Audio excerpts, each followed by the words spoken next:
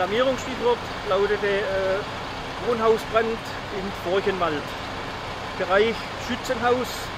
Wir sind also ist Tennisheim, sind, äh, ist das eigentliche Schützenheim und das al- die Gaststätte zum alten Schützenhaus. Was genau Brand hat, wusste man zu dem Zeitpunkt der Alarmierung noch nicht. Ja, auf jeden Fall ist, war der Brand schon fortgeschritten. Das Haus stand eigentlich im Vollbrand, also im, im Bereich vom Erdgeschoss. Hier muss auch der Brand ausgebrochen sein. Brand es es in voller Ausdehnung über die gesamte Breite und Länge äh, und auch schon im ersten Stock und der Dachstock der Rauch das schon stark aus. Also das hat, schon, äh, hat sich sehr stark schon ausgebreitet. Äh, beim Eintreffen war die Erstmaßnahme gleiche Riegelstellung aufzubauen zum Schützenheim zum Schützenverein, dass man da äh, Brandausbreitung auf die Schießanlage und das Gebäude der Schützen dann verhindern konnte.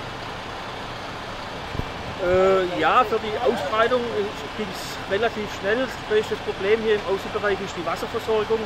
Wir haben schon, äh, ja, schon vor, vor der Anfahrt oder bei der Anfahrt äh, weitere Kräfte angefordert. Zum einen Löschzug von der Berufsfeuerwehr Heilbronn, wie auch äh, den Abrollbehälter Wasser mit 10.000 Liter Wasser und des Weiteren auch von der Feuerwehr Neckarsulm noch einmal zusätzlichen Abrollbehälter auch mit 10.000 Liter Wasser, weil äh, die Wasserversorgung über lange Wegstrecke geht vom Neckar und das sind rund 1100 Meter.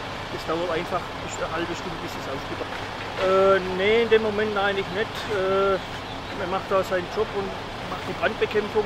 Natürlich jetzt im Nachhinein schauen wir, dass man, wir musste dann die Atemschutzkräfte äh, öfters tauschen, weil es doch eine extremere Belastung ist durch die Hitze. Haben wir dann zusätzlich noch Kameraden von äh, Nordheim und Talheim alarmiert, um uns bei den Atemschutzgeräteträgern zu unterstützen.